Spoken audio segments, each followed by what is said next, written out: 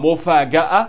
خبير بيتنبأ بحالة الاقتصاد المصري في سنة 2024 و توقع الخبير الاقتصادي المصري الدكتور مصطفى ما ينتظر الاقتصاد المصري خلال العام المقبل 2024 خاصة بعد قرار البنك المركزي المصري تثبيت سعر الفايدة.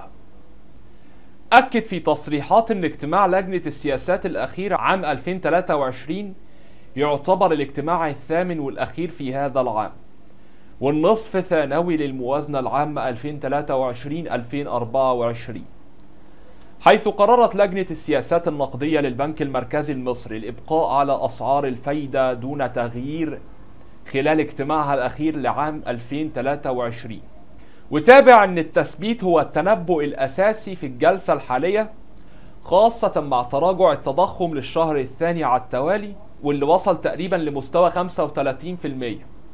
وده بيدل على إن المعيار الأساسي في عملية التثبيت هو تراجع التضخم بحسب المؤشرات.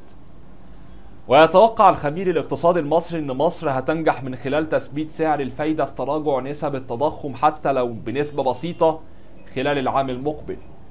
ورفعت لجنة السياسة النقدية بالبنك المركزي أسعار الفايدة 300 نقطة أساس. منذ بداية 2023 حيث ارتفعت من 16.4% للإيداع ل 19.4% ومن 17.4% للإقراض ل 20.4% حاليا.